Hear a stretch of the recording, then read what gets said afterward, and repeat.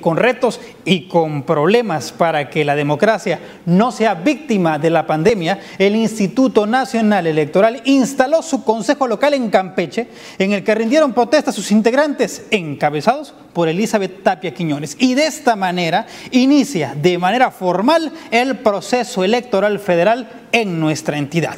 Este órgano colegiado está integrado por siete consejeros, un secretario y representantes de los diez partidos políticos con registro nacional. Y también se le tomó protesta de ley a los consejeros presidentes de los consejos distritales, uno, Omar Valle Flores, y del dos, Elizabeth Hernández Lozoya.